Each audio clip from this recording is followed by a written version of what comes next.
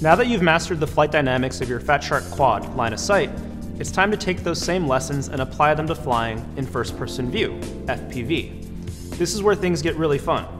To start, plug in your quad and face it pointing away from you. This is important. You don't want to take off FPV and then fly into yourself. Next, you're going to turn on your Recon goggles and make sure you're on the right video channel.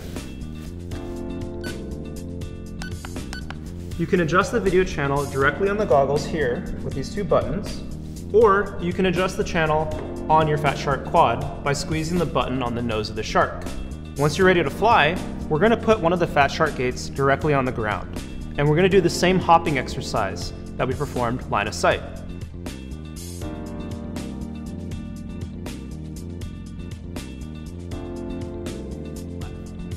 It's important to master all these different orientations FPV because you never know when you're going to see an obstacle and have to stop, fly backwards to avoid it, or fly to the right or left of it. So, practice this technique for at least a few batteries until you're comfortable, have fun doing it, you're really going to enjoy FPV.